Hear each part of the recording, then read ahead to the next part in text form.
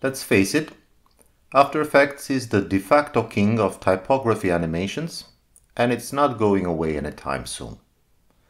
But Blender is closing the gap, and I keep encountering more and more cases when it's a good, if not a better replacement for text work. A couple of days ago, as I was experimenting with geometry nodes, I thought of replicating the path option functionality in After Effects. You know the one, when you draw a path and simply tell a text sentence to align itself along and follow it. How hard could it be anyway? Or so I thought initially. I already envisioned it working in 3D and set myself to work. The truth is, it wasn't that simple. Spreading and orienting instances along paths based on their index number is easy, but in this particular case they represent text.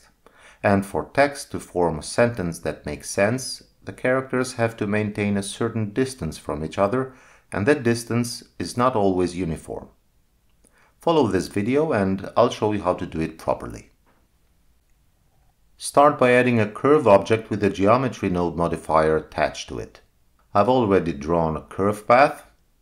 Add a string to curve node and type a sentence.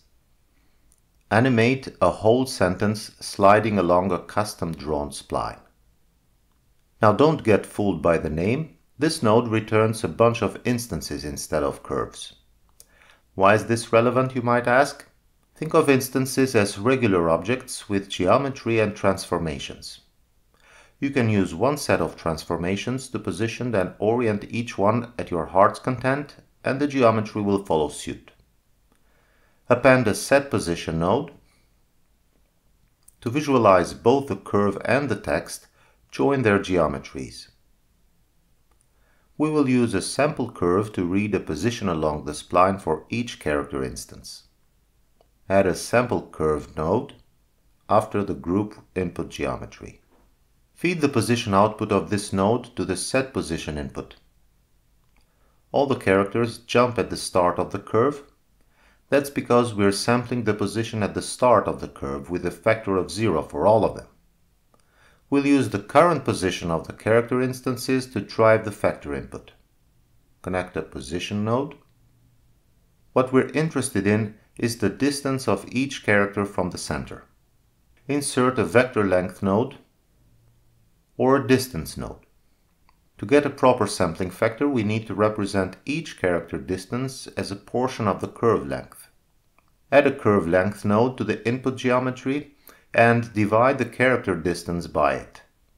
This will return a 0 to 1 value. Feed the result into the factor input of the sample curve node. This will spread the instances properly. And it will work even if you decide to change the font scale. Let's now orient them to follow the curve. Apart from the position vector, the sample curve node returns us the tangent vector along it and the normal also. Let's use them to calculate the rotation of each instance. Insert a rotate instance node and make sure to leave the local space option active. This node expects an Euler rotation vector expressed in radians. The tangent and normal vectors instead represent directions in space so we can't just connect them and expect everything to work. We have to convert those directions into Euler rotation vectors.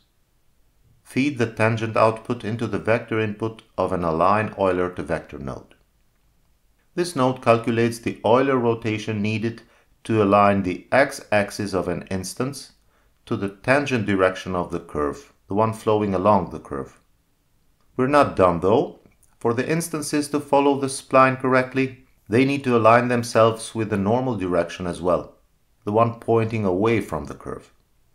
Take the rotation vector and feed it to the rotation input of a second align Euler to vector node.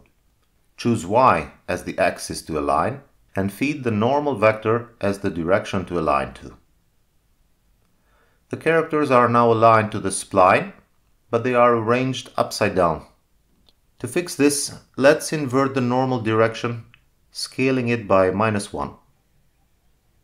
Now that we have the characters aligned properly, how do we animate them along the curve? Easy. Just add to their vector length value. As you see, Changing this value makes them slide. But they stop as soon as they reach the curve's end. To have them loop around, insert a fraction node after the add operation.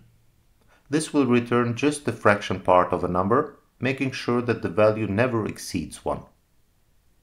Playing with the add slider, you'll notice that as soon as the characters reach one end of the spline, they jump to the other one and continue sliding.